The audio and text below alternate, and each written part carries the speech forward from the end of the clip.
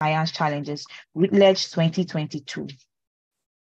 Focus on leading impactful research in facilitating dialogue on financial crime regulation in emerging economies, Dr. Azinge Egbiri founded the Global South Dialogue on Economic Crime, that's GSDEC. Recently, she was appointed by the United Nations as a member of its Knowledge Network for Africa and is a member of the Society for Legal Scholars. Dr. Azinge Egbiri's research has largely influenced her teaching. She has developed two courses focused on international finance financial services regulation, which examine the interplay between global frameworks and their adaptability across developed and developing countries.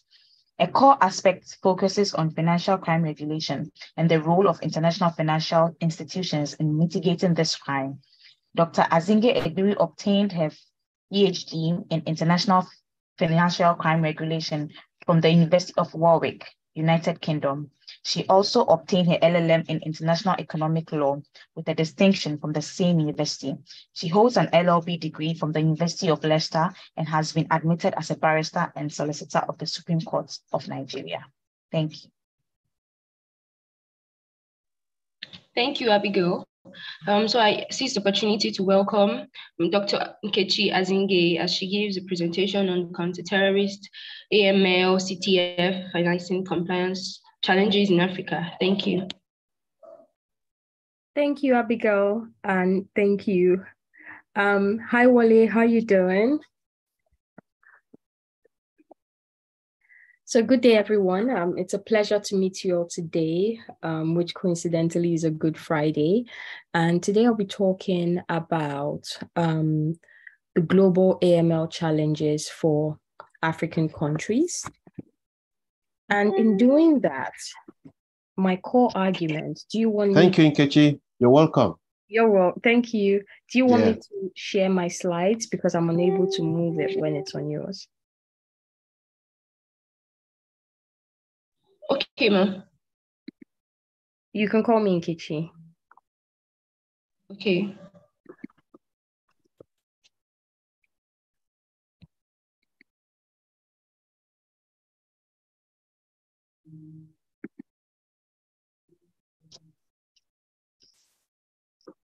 Give me a second.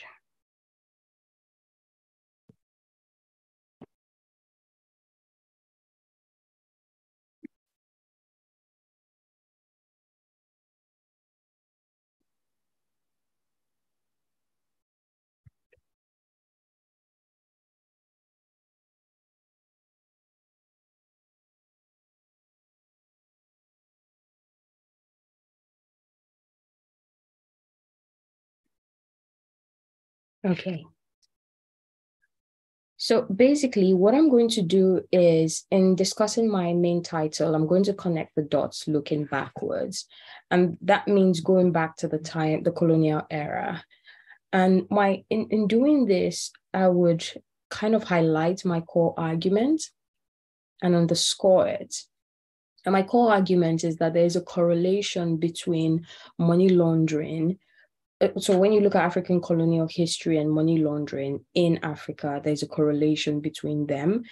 And more than that, when you look at the global standards for regulating money laundering and terrorist financing, you would see that it does not necessarily recognize certain peculiarities and challenges within African countries. And that in itself has led to unintended consequences where African countries are not complying and do not necessarily have the structure to comply. And so there's a need for us to challenge the global standards in a way that would mandate the inculcation of expert perspectives from the African countries. So, my discussion is going to be in three parts. First, I'm going to give a brief discussion on Africa's colonial history and its impact on money laundering on currencies. And then I'm going to then look at the compliance trajectory of African countries. And lastly, I'm going to then examine the compliance challenges of African countries. So practically asking why are African countries not complying as they ought to? Now, when we hear about colonization, instinctively we think of slave trade, but it goes beyond that. It was much deeper than that. It was economic deprivation in many ways. And when I say many ways, it cuts down to pathology, which, for instance, focuses on the causes and effects of diseases. And when I say pathology, you'd realize that when we think about the diseases that are prioritized today, automatically we think of malaria and tuberculosis, right? And then the question then becomes why are these diseases prioritized? And they are prioritized because the global framework, particularly the global north countries, so the developed countries mm-hmm. decided that these are the diseases that we would prioritize simply because at the point of colonization, these were the diseases that, that primarily affected the colonial masters who came into the country. And when we talk about colonization in this, in this instance, it's not just about the prioritization, it's also the fact that these diseases have then been coined in a way and, and, and systemized in a way that they then benefit developing countries. So when you think about what do you use to treat malaria today, you po- possibly use nets, you possibly use um, insecticides. Where are these where are these uh, manufactured in developed countries, right? So when you look at pathology, when you look at agriculture, when you look at uh, um, even the oil industry, you would see that everything works in a way that even till today benefits the colonial master. And this goes down to the point of slave, uh, the, the period of slave trade. Even after slave trade was abolished, what you noticed was that there was exorbitant taxation, there was illicit transfer of wealth from African countries to the colonized um, to the colonizers. Again, there was a lot of exclusive rights granted by British firms or granted to British firms over mineral and natural resources. Now, what does all of this have to do with money laundering? Now, and its regulation. Now, the the what we would realize is that there was prevalent exploitation at the point of slave trade and colonization quite generally. And this in itself set the tone for the decolonization era. And there were a lot of kickbacks during the decolonization era, with the colonial masters practically making a key argument. And the key argument was that if we leave these countries to become independent, the reality is that they are then going to be be they're going to engage in corruption they're going to engage in bribery they're going to be very uh, uh, corrupt in themselves so we cannot leave them alone we have to have our reins over them but the reality is that it was expected that African countries, especially Nigeria, would behave this way because the colonial masters have been, had instituted regimes that would enable us behave this way. They had behaved this way themselves. So it was kind of like a learning process.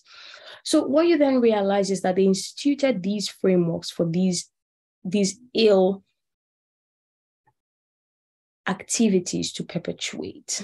Now, the struggle for independence continued, and a lot of African countries gained their independence or independence in quotes. But again, it was marred with corruption, bribery, and money laundering. But let's be clear that these terms, particularly money laundering, was not defined at that point. And then when it came to regulation during the military era in Nigeria, the focus then was on corruption and bribery. There was no recognition of money laundering at all, even though the activities in themselves perpetuated. And when we say money laundering, what do we mean? Money laundering is simply committing an illegal activity. When you commit the illegal activity, which might be corruption, you then give the proceeds of that crime legal appearance, right? So these activities were already taking place even during the colonization period. Now, because Nigeria, for instance, focused not just Nigeria, other African countries, they focused on, on curbing corruption and bribery, but then they did not look at money laundering, right? So it created space for the global stage to take to, to, to then um, set in place policies for this. So first we had the Vienna Convention, which is a UN convention which came to curb money laundering. And this UN convention focused mainly on money laundering with regards to drug crimes, right? So, and for instance, you see the NDLEA of today in Nigeria, it was an offshoot of the Vienna Convention. But later and more prominently, we then saw a policy body take center stage, and that policy body is known as the Financial Action Task Force. And with the Financial Action Task Force coming into being, it came to set standards that countries are encouraged in quotes, but the reality is that countries are mandated to comply with these standards. And when you fail to comply, there are implications for that. Now, this in itself was a new colonial agenda. And I say that for various reasons. First reason is that the Financial Action Task Force in itself was established by the G7, and the standards which the FATF set or FATF or FATF um, set was derived mainly from the G7 countries, primarily from the US standards. So the US, the UK, France, they already had banking standards in their countries that were set to govern money laundering and terrorist financing. So practically these standards were picked up and then countries were then, other countries were then made to apply it. So picked up the FATF used them to set their own standards, 40 global standards, and every country is then mandated to apply it. Again, I say neo-colonial because when you look at the FATF, who are its members? Its members are primarily OECD member countries, right? And then the BRICS countries, so Brazil, Russia, India, China, and South Africa, right? And although South Africa's inclusion is sort of belated, but not just belated, it's been questioned why South Africa part of this network. And it's largely because South Africa was needed to ensure that there's some form of inclusion or global spread, whereas in reality, South Africa has very limited say in, in the FATF. Now, again, neo-colonial, because when you ask yourself, okay, these are the members, what advantage do they have as being members? They have advantage, the advantage of being able to have a voice in the FATF, being able to vote on issues, being able to deliberate on standards, being able to influence what becomes standards, right? So in the absence of an institutional voice, so who doesn't have an institutional voice? Non-members do not have an institutional voice. And if you see the way the FATF works, so practically it has its core members, which are OECD members and the BRICS. It then has pockets of membership organizations where different countries can then come under as a group, right? So, for instance, in West Africa, we have GIABA, right? And GIABA practically groups all West African countries, and they are then members of GIABA, but not members of the FATF. Now, what then that means is that GIABA can then claim to be a member and have a voice, although its voice is limited, because I did talk to members of GIABA and they tell you when we're deliberating on issues that concern African countries, it is difficult. We practically do not have a say on issues that concern us. Now, in the absence of an institutional voice, it's not uncommon or it's not unexpected that the eventual standards would actually, or the framework actually lacks the nuances that would facilitate Africa's robust compliance. And the reality or the implication of this is that there are unintended consequences of these standards. Now, when I say unintended consequences, what do I mean? So I'll talk a bit about the standards and some of the unintended consequences. One of the key standards of the FATF is that every country should have in place customer due diligence. So your banks or financial institutions should have customer due diligence. What does this mean? It means at the point of opening an account, at the point of engaging certain key professionals, so for instance, like lawyers and accountants and all of that, they should carry out customer due diligence on their clients. So in Nigeria, what, what is customer due diligence? So for instance, if you want to open an account, you must have an address. Sometimes the bank officials would follow you physically to your address. You must have a national identity card. Um, you must have done your um, BV, you must have your BVN number, things like that. Now, and this is the case across many jurisdictions, right? Now, a few years ago, I stayed in Abidjan for a few months, and my mom had called me to say that she wanted to send some stuff over. And I told her, Well, I don't have an address. And she was like, Are you living in a bush? And I'm like, No, for real, I am not living in a bush, but I don't have an address. And it kind of shocked her. But then the reality then is, if the FATF is mandating that you check physical address, you check this, you check that to ensure that the person who, to practically rid yourself of the risk associated with opening an account for someone who might might launder money or facilitate terrorist activities, you are then shutting people out of the banking system, right? So by trying to kill a bird, you're killing 10, right? Now, the reality then is that if people like me are unable to open an account in a city where I live, it then means that other people who would possibly have all it takes to open an account would possibly exploit the underground banking system, right? And that in itself is antithetical to the FATF's objectives. And why do I say it's antithetical? Because the FATF wants a lot of people in the banking system. Because if more people are in the banking system, it means there are less people in the underground banking. It means that it's able to create paper trail and effectively then then effectively combat money laundering or terrorist financing. So it then shows that there are nuances that the FATF does not necessarily address. In addition to that, during the COVID period, the FATF came and said, okay, um, we want digital identity, and we want that digital identity so that people can use um, bank accounts, their banks, bank accounts, even from their homes, from the comfort of their homes. And we wanted to include, um, to, to encompass the, a framework that would combat money laundering all well and good. Nigeria decided, okay, we would shut our banks. People can use their um, bank apps, people can use their digital identity. But the reality is, at that point, we didn't have that much people who had their digital identity. I remember registering for my NIN many years ago, about eight years ago, and I only just got it about two years ago.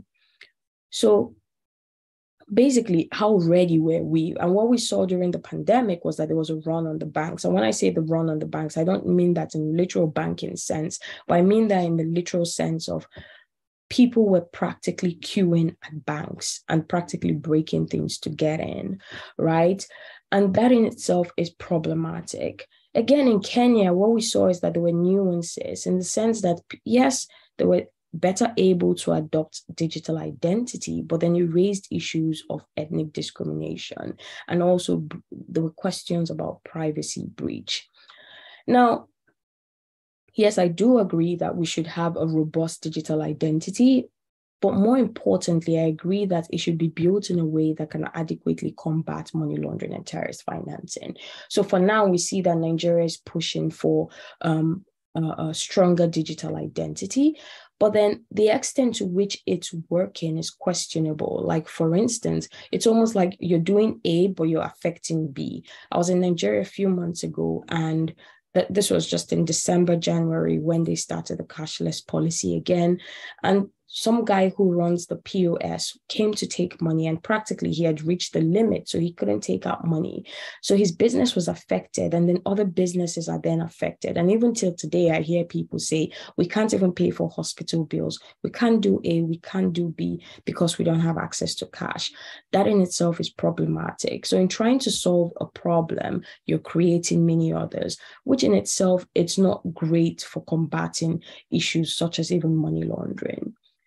Now, like I mentioned, another key uh, uh, uh, uh recommendation of the FATF is that countries, also when you have lawyers, for instance, lawyers should be able to report their clients when they suspect that their clients are committing or going to commit money laundering and terrorist financing.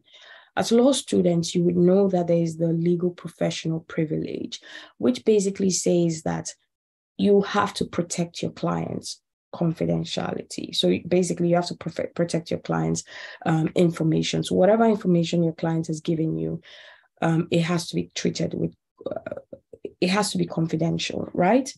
And then clients can then trust you and bring issues to you. But the FATF says otherwise. Know, if your clients are going to commit a crime, you have to report them. Now, in Nigeria, the law was the law was instituted, but how was the law instituted? The law was instituted in a problematic way and it led to a lot of court cases. Practically, because when you look at the money laundering law, it said that when a client is engaging with a lawyer on a deal that is above a thousand pounds, a thousand dollars, automatically you should report that client. That itself is not what the FATF says. But what is the unintended consequence of that? The unintended consequence of, in this case, the misapplication of the FATF standard is that clients would then not go to the lawyers because if you have to report me on every case, what about a thousand dollars, then why should I come to you? Right. And why should I not find alternative ways to deal with my issue? But more importantly, it does also means that there's loss of business on the lawyer's end. And so lawyers rightly contested this. And they contested this and they won. And the court practically said that the Money Laundering Act would not apply to Nigerian lawyers. Of recent, there's a new Money Laundering Act of 2022. And although it corrected a lot of mistakes of the former act, it still made the same, replicated the same error in saying when their payments over a $1,000, it should be reported that in itself is problematic. Now, there's also the unintended consequence on CSOs, that's um, civil society organizations. So, for instance, um, there's the concern that civil society organizations facilitate terrorist financing. And as a result of that, the FATF has said that they should be regulated for that purpose. Now, the implication is that there's overregulation of CSOs. But more than that, there's reduced funding ability. Now, governments have also used the AML CFT regulations for human rights violations. So, for instance, we saw that during human rights violations against CSOs and people who run CSOs. So, for instance, we saw that during EndSARS, there were a lot of people who were raising money online um, through various methods to practically augment the work uh, uh, of the protest. But what did we see? We saw that the government said clamping down on their on their accounts. And in doing that, the CBN governor and, and other members of the government who fought them were practically saying, oh, they're funding terrorism. But that in itself was not true. Now, what's the implication of, of, of, of, of, the, of, of, of strictly applying the FATF recommendation on CSO. The implication is that there's going to be loss of funding. There's also going to be non-execution of projects. There's going to be delay of projects as well. And it also shows that the FATF is unable to draw the line between the potential risk an organization or a CSO organization poses as opposed to the actual abuse of a CSO. So that in itself is problematic. Now we see that these are some unintended consequences that are worth examining. But more than that, the unintended consequence goes beyond standards to methodology for assessment or even who is assessing. So when we say countries have to be assessed on those standards, what we mean is that human beings like you and I are trained to go into countries, and then they then have a checkbox where they determine how countries, but more than a checkbox, they're not doing it in a way that is more um, nuanced. But basically, they go into discussions with different countries to determine how well countries are complying with standards. Again, as human beings, there are biases, and these biases mean that there are challenges in the way that sorry, there are challenges in the way they assess and there are challenges in the outcome of the assessment. So, for instance, in South Africa, the assessors went in and said, oh, the terrorist financing sanction is so low. It has to be improved. But then, when benchmarked against about 50 countries, it saw that it was actually just within range. So, we then see that there are challenges with there are human challenges that can lead to unintended consequences because when that penalty is then increased, it then becomes too high that in itself is problematic and it then infringes on certain rights of people. Now, when so practically to determine how well African countries are complying, even with the unintended consequences that they face. What I did was to look at the mutual evaluation report of 30 African countries and recorded these in numbers. And I looked at the mutual evaluation report and benchmarked them against the 40 recommendations from the period of 2007 to 2015. And from the period, for that period, about 30 countries were less than 50% compliant, and only seven of those countries were at least 50% compliant, with Egypt, Tunisia, and Mauritius practically ranking ahead. And on the other hand, they were the weakest regions, and these included Burkina Faso, Liberia, and Tanzania. Interestingly, two of the weakest regions are still blacklisted or listed by the FATF today. Now, why do we lack the why are African countries not complying? Yes, there, there's one end of the story, which is my core argument, which is that they have peculiarities that have not been taken into consideration. And then there's the other side of the story, which is indeed tied to the first part of the story. The African countries lack the preconditions for effective anti money laundering um, regulation. And when I say it's tied, it's because the framework for regulating money laundering and terrorist financing was were, were, were, were, built to be inadequate during the colonial era, and that in itself has perpetuated till today. So, for instance, for a country to be able to adequately combat money laundering and terrorist financing, it not just needs financial stability, strong governments, strong institutions, strong regulation and enforcement systems, but it also needs to ensure that its people have confidence in these systems. In the absence of this, that in itself would mean that the country would struggle to comply. And this is the situation in most African countries. Now, countries are assessed every four to five years to determine how well they're doing. But in between the period of assessment, there's a follow up assessment. And that follow up assessment practically trails the areas that the countries have struggled to comply with. Now, when I say you have four to five years, it also means that you have four to five years to prepare, right? The reality is that countries wait up until one year before the assessment, a few months before the assessments to start to comply. And the reality is that these African countries are shooting themselves in their foot. Now, when I say they are waiting, it then means that there's no this institutional system is weak and then there's no confidence in the institutional system the political system and the governance system government system and also, the regulatory system is also weak because it's the regulators who would usually um, uh, uh, uh, uh, uh push for other institutions to carry out, other uh, financial institutions to participate in the process.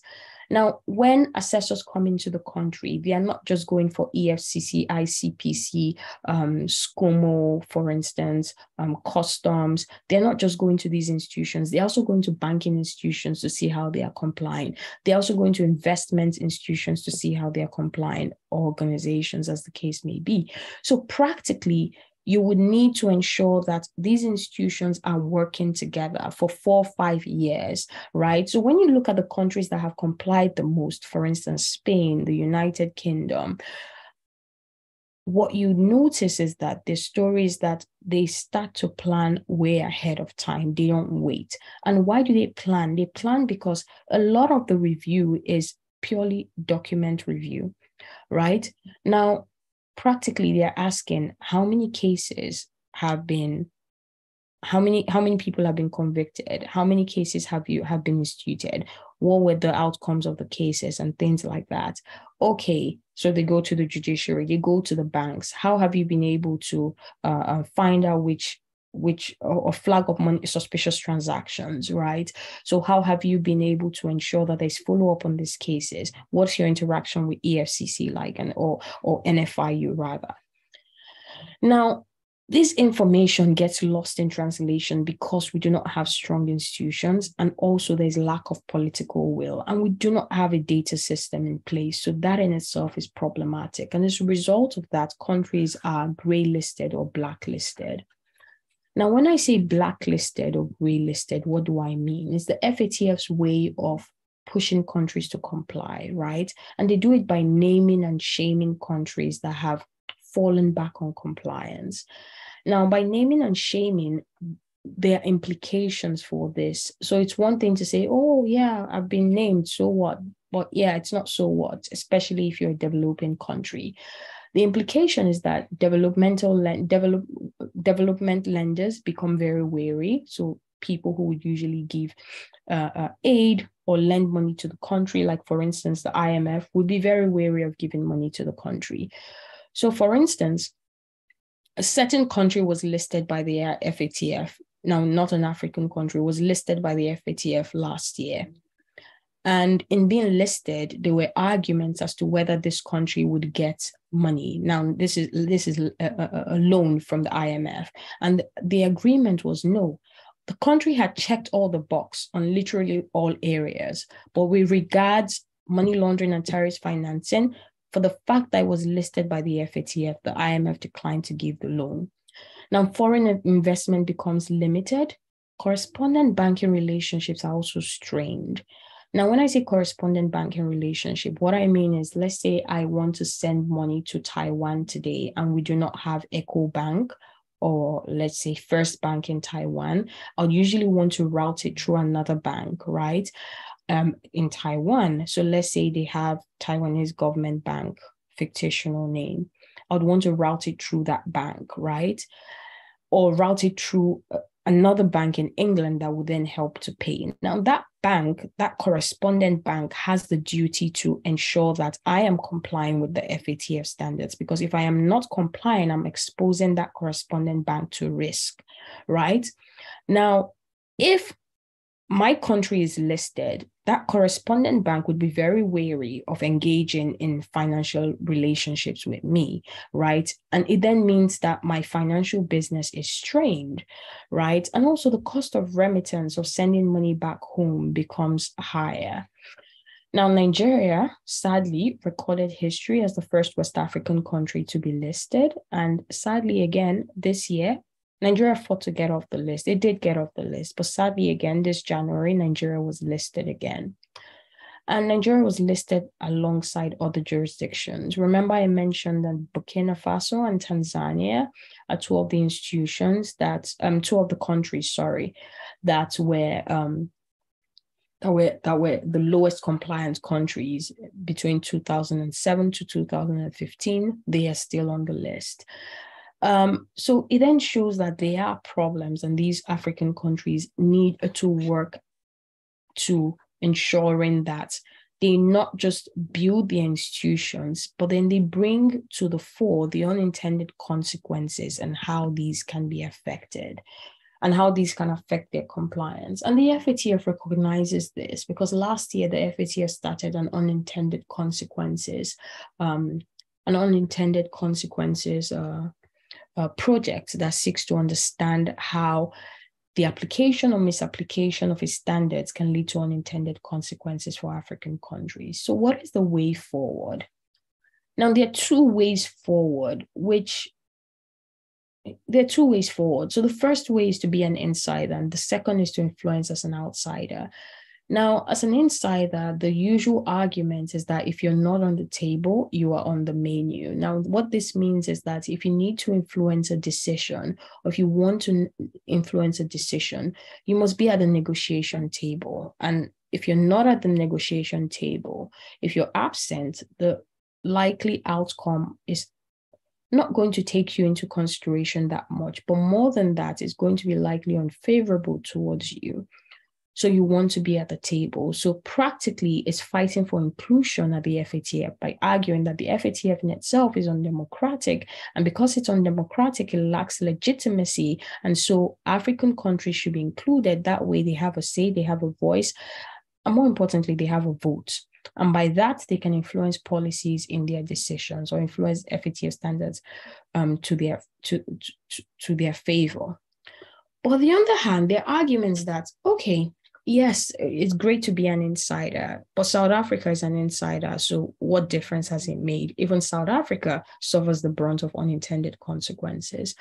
So, the alternative is to be an insider, be an outsider, but bring evidence that would push for policy change. So, gather enough evidence for the FATF's unintended consequences project to show that there are actually unintended consequences. And with that evidence, the FATF would no doubt have to stop and pause, right? And then consider those evidences. And chances are that change may come from there. So, my conclusion is that yes, the current situation of African countries cannot be divorced from the colonial period and also the post colonial period. But then again, African countries need to build strong institutions and need to have the political will to actually combat money laundering and terrorist financing, both as an insider and as an outsider. So, thank you for inviting me, and I'm now open to questions.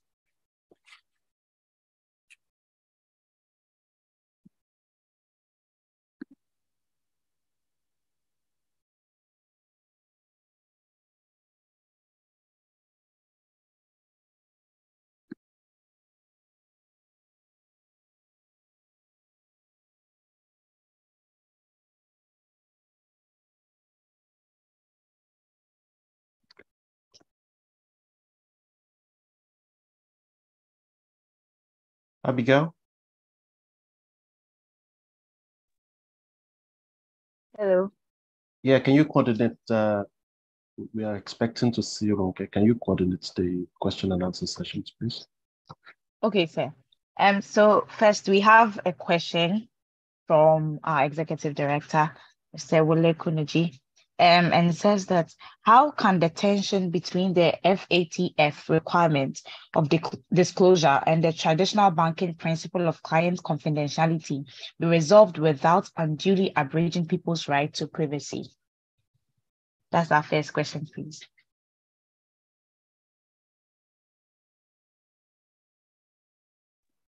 Oh, thank you. I kind of knew the hardest question would come from Wole. So it's, it's a difficult one, to be honest. So, on one hand, clients have that right to privacy, which, for instance, in Nigeria is already enshrined in the Evidence Act that practically says, um, except when a client is going to commit crime, you should not disclose, right? And that's, but that in itself is restricted to litigation. But the reality is that the FATF is saying that lawyers, you have to be gatekeepers, or lawyers or accountants, the list of professionals it mentions, you have to be gatekeepers. And your gatekeeping role would ensure, would, would practically mean that you take a, a step back and you then determine first you com- conduct your CDD, customer due diligence, and then you then determine whether this case and, or this client is worth taking on board. And what this means is that, so for instance, in the UK, the law here says that you're supposed to examine the transaction, examine your client, and then determine also, you're supposed to do this in a risk based way. So, practically determine the likelihood that your client will be involved in money laundering or terrorist activities as a result of the client's antecedents and the history that you have access to. So, for instance, the law in the UK says if you ought to know that your client's activities are more like are likely to lead to money laundering and terrorist financing, then chances are that you should report that. So practically in doing that is basically saying I want to breach. So it's basically saying we recognize that there's client confidentiality on one hand, but when it comes to crime, and if you ought to know, and when we say ought to know, it then means that if a lawyer does not necessarily know, but looking at the transaction, you should have an idea. It then means that you can be caught by the law, right? And there are cases in the UK when where you look at it, you're like, oh my God, like this is this is quite tight. Like maybe the lawyer should have been let go of. But when you compare that to the situation in Nigeria, you then understand why the FATF takes its stance. Like for instance, in Nigeria, there was a case by on I think Olisa Agbakoba, where the client had paid money to the lawyer, and the lawyer did not investigate the source of the wealth. And the court basically said, yeah, it's fine. You don't have to investigate the source of your client's wealth. I think that's problematic because what we see in Nigeria is that churches get money and um, money is given to churches as charities. No one investigates it. Money is paid to lawyers. No one investigates the source. A lot of politicians use lawyers to launder money. That in itself is problematic. Um, Ibori did that all the lawyers that were involved in Ibori's case in Nigeria went scot free. The lawyer involved in the UK did not go scot free. So while we try to ensure client confidentiality on one hand, we have to also ensure that that confidentiality does not lead us to a point where we encourage and even participate in crime. So I think that's where the FATF tries to strike its balance.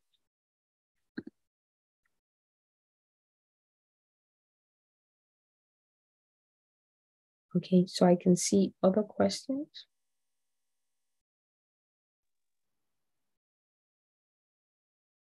And so at some point, the FATF faced, just following on that question, on, on the answer, the FATF faced kickbacks from a lot of countries, including the US. And the FATF has told countries how you, the approach you take on ensuring that lawyers are gatekeepers is up to you. And so the US, for instance, has set its, its bar association is practically responsible for um, ensuring that lawyers play their part. And what it just sets is policy guidelines for lawyers as opposed to laws. So different countries have taken different approaches. And in doing that, the, con- the FATF is practically saying we recognize that countries have their peculiarities, bar associations have their peculiarities, and people want to do things differently. And so, for that reason, we would encourage that you do, I won't use the word encourage, we would mandate that you do ABC, right? But in doing that, do not facilitate crime.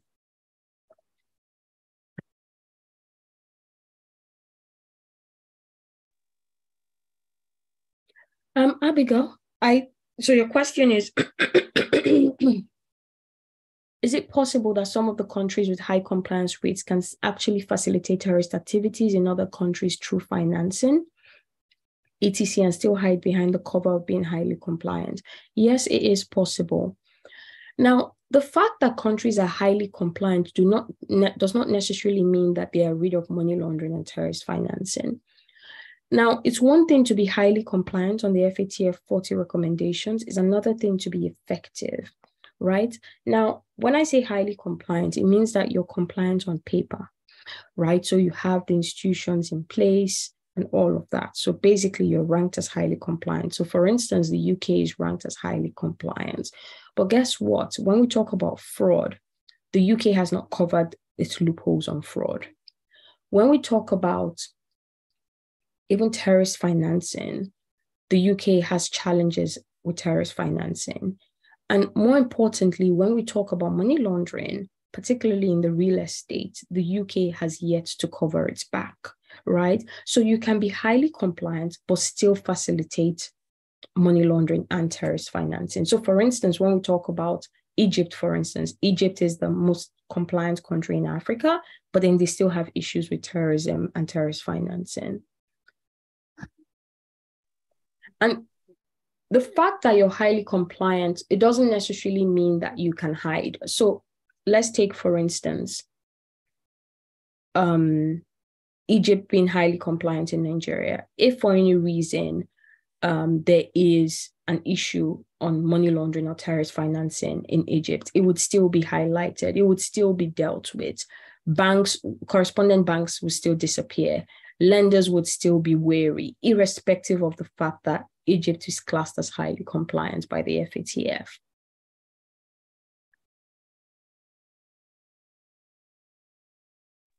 Okay, thank you very much. Um, our next question is from Stella. Mm-hmm. She said she says that if if there's a mechanism such as blacklisting in AML CFT, why are tax havens and other countries where dirty money is known to be stored so developed, since the consequence is the withdrawal of development lenders, are they not blacklisted? And not, why? is it only countries that try to join the FATF that can be blacklisted, or there are some jurisdictions where they have little to no effect? So the FATF's blacklisting um, blacklisting mechanism in itself is has been highly debated on, right? Now the question is which con- so basically right we have the global north and we have the global south so the global south is developing countries the global north is developed countries now there's the global financial um, uh, uh, uh, framework or global financial system. And the question is, which countries are more in, which countries are more ingrained into the global financial system? Is usually the global north countries, right?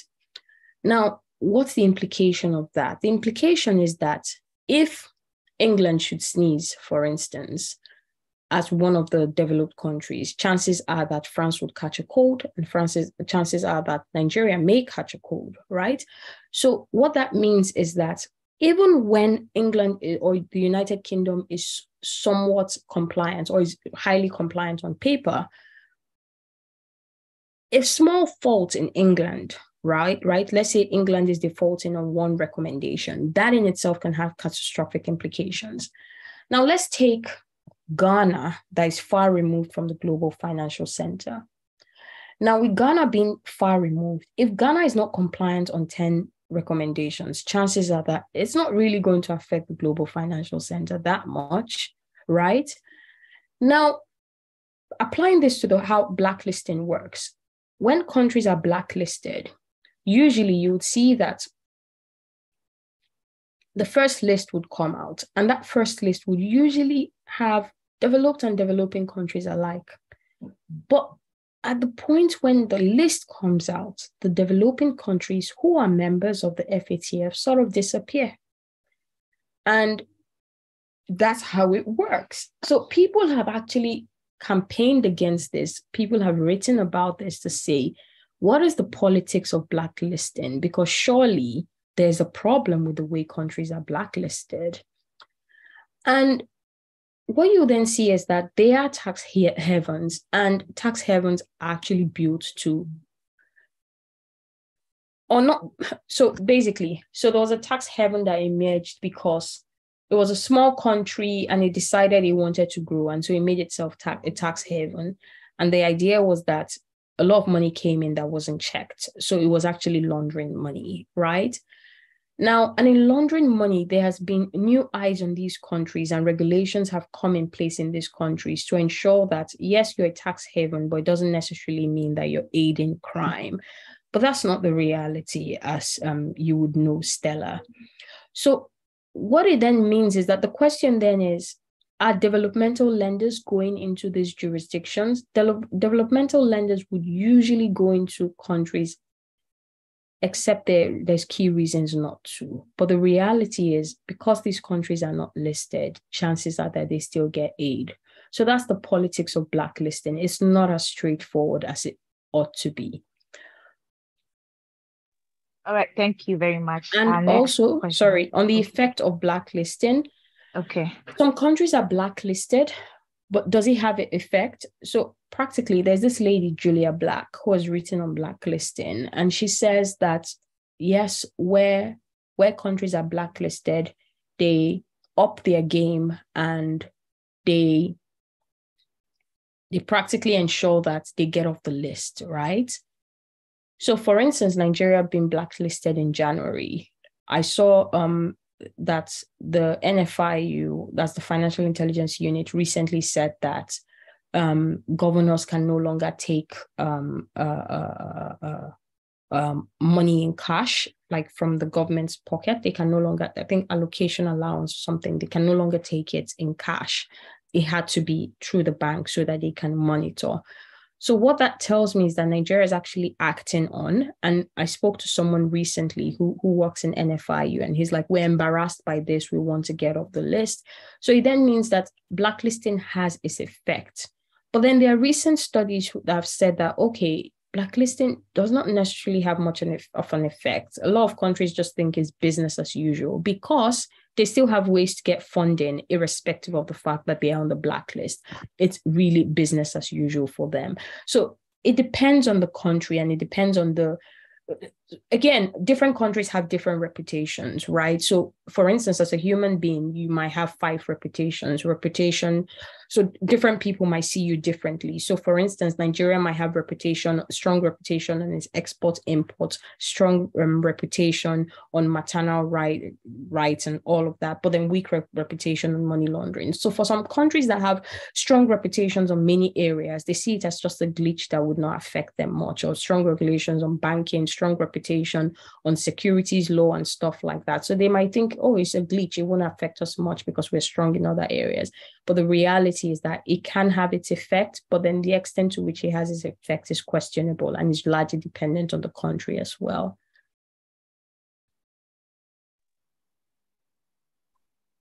All right. Um, thank you very much.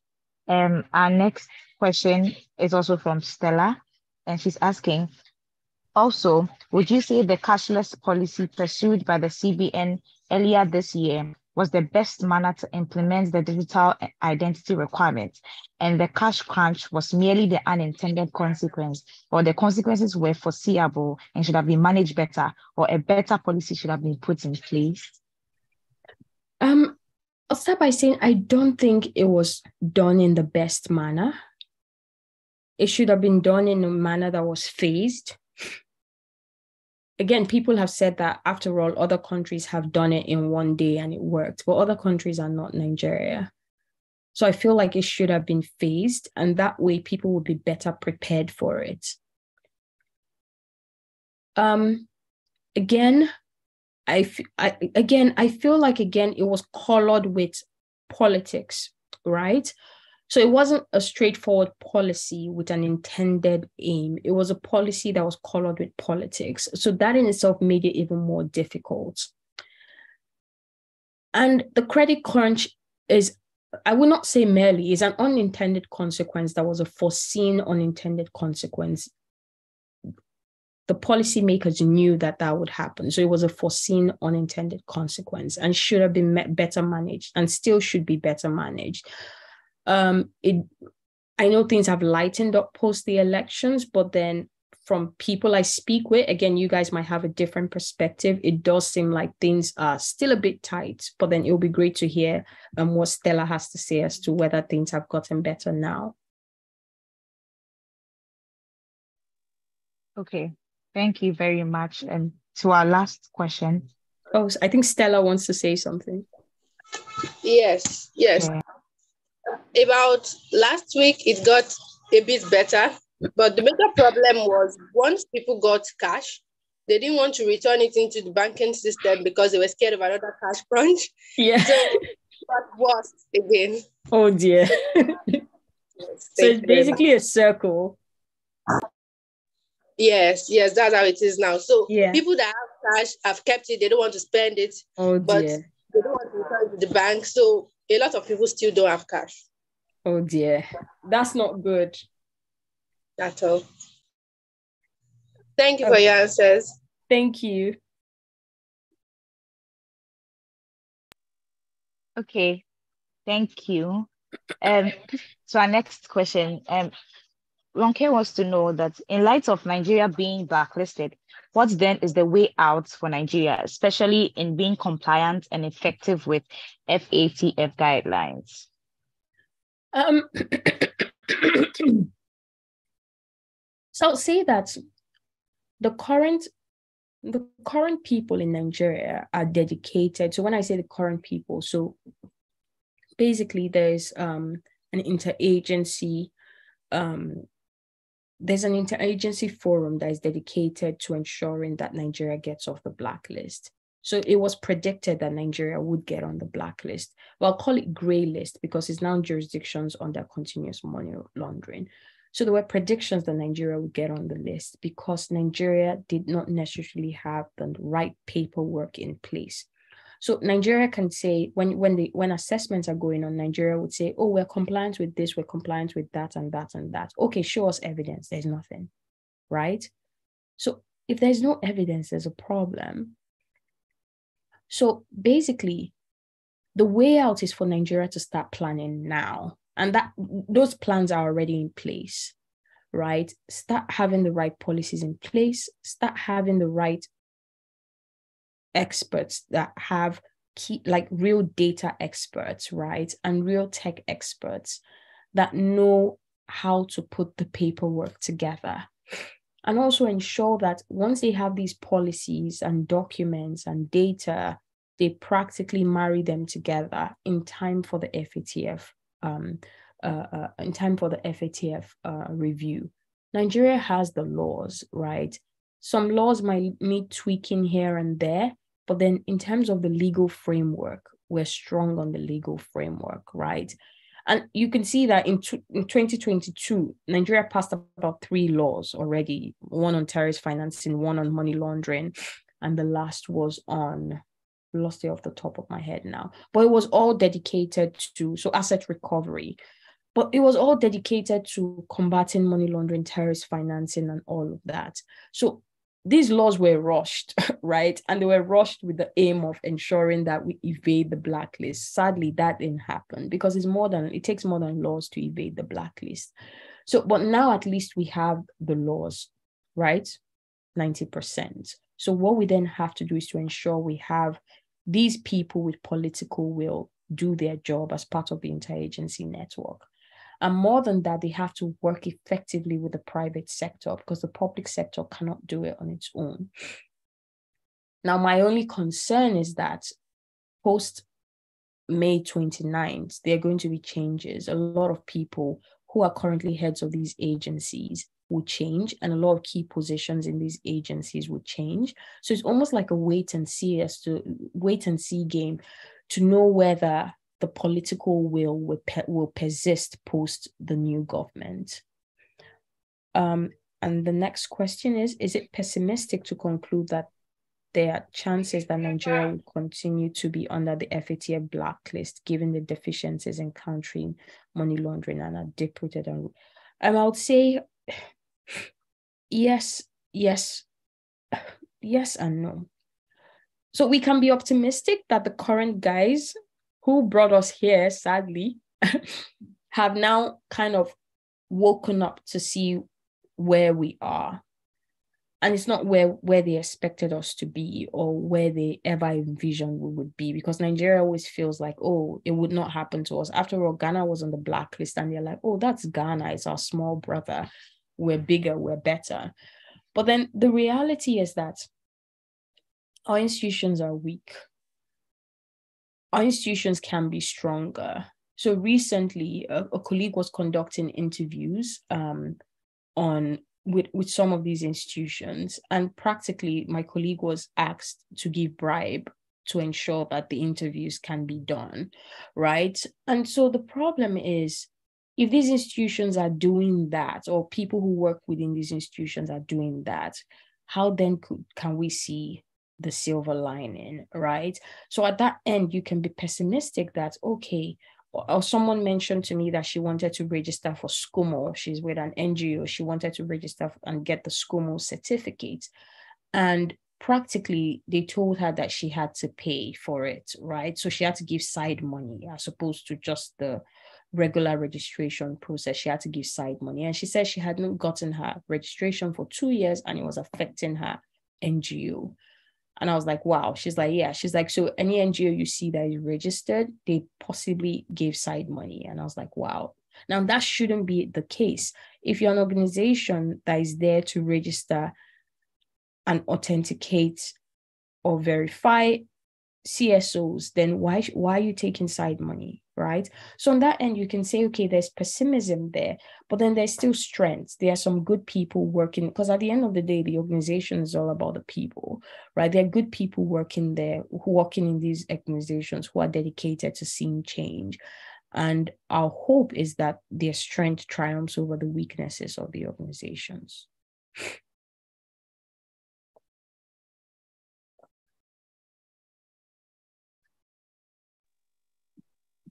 Okay, all right, thank you. Um, okay, thank you very much for the presentation, ma. I also have a personal question, ma.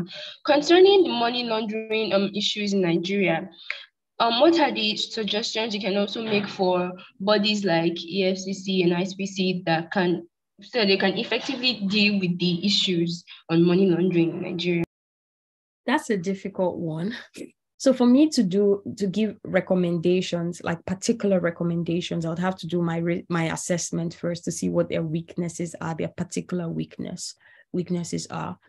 But then I would say that some things I would say would have to change would be one, ensuring that the institution in itself is not corrupt, right? So you cannot fight what you are, right? So except you're willing to like you must be actively ready and willing to fight corruption. So there has to be integrity in institutions. It's only when there's integrity in institutions that people will trust that that institution has the legitimacy to fight the fight it's fighting. Right. And right now, I struggle to see the legitimacy in a lot of these institutions, particularly with the current political figures we have at the helm of affairs. I think I would leave it there with I will not go further as to the because everyone had their political differences. Now, um, again, I would say training. A lot of these people, a lot of people that work in these institutions do not have the requisite training that they need. And I would say that I myself have been I've been able to conduct some interviews on a particular research area, but not on this. And in conducting that research, I was given answers that were wrong by some key staff. And I was wondering, okay, if you're telling me that, then how are you effectively doing your work? Right. And that in itself was problematic for me. I had to meet to an extent it was practically the heads of heads of departments that were giving you the accurate answers but people who were actually doing the work on ground were, were giving you answers that were wrong, right? And that in itself is problematic. So it means that they need training, right? And I would say the training has to be done in such a way where there's cross border training. And when I say cross border training, it's all good and fine to sit in a room and have someone come and talk to you and possibly run an assessment on, uh, like, let's say a test or something to see whether you've gotten things right. But another thing for you to watch from another jurisdiction's perspective, see how that jurisdiction is doing what you do and possibly doing it better, and then learning practically from those institutions, uh, from, from that uh, uh, uh, jurisdiction. Yes, this would involve money, it will involve time, but then it's worth it. And lastly, I would say that there has to be a move towards adopting AI into the way these systems are built and how the systems work right? NITDA is currently pushing strongly towards the adaptation of AI across government parastatals, across institutions as well. So when we say, oh, um, financial institutions are reporting to the EFCC, the or the NFIU, sorry, the NFIU it has to process all this information, right? And it's only able to process it when it has the instruments in place to process it, right? So working closely with NITDA, working closely with private organizations that work closely with NITDA would actually amplify the way these institutions are able to deliver on their task or their, or their key objectives rather. So I hope that answers your question. Yes, thank you very much, ma'am. Um, thank you so much presentation. Um, I would like to um, invite Dr. Kuniju, the Executive Director of the Lex Lata Center for International and Comparative Constitutionalism, to please give a vote of thanks. Thank you. Thank you very much, um, Nkechi. Uh, that was a very brilliant presentation. Thank and you. Um, I'm not an expert in this area, but I think I might just do a paper or two, you know, um, in the coming weeks on this particular topic. It's a very interesting topic. Thank, Thank you, you so much for honoring our invitation. And I believe that when we invite when we invite you again, I'm sure you will um, respond. Yeah, most definitely. Thank you. I had a good time uh, and thank you for all the questions. They were actually interesting. Yes. thank you so much. Um, thank, you. thank, you. so much, our distinguished audience. Um, this uh, event is being streamed live on YouTube. Uh, so after this particular event, uh, the presentation will still be available on YouTube for people who would like to, um, you know, have another look at the presentation later. Uh, many people visit our YouTube page, you know, um, from time to time. So I'm sure that uh, this will be very useful uh, for so many people in the coming weeks. Uh, thank you once again. Um, and thank you, everybody. We wish you all um, a happy Easter in advance. Um, enjoy the rest of the weekend. Thank you. Thank you. Have a good Easter. All right. Bye-bye. Thanks. Bye. Yeah. Thank you very much, sir. Thank you, Mom. You're welcome. Thank you, Thank you to everyone yeah. who attended too. Mm.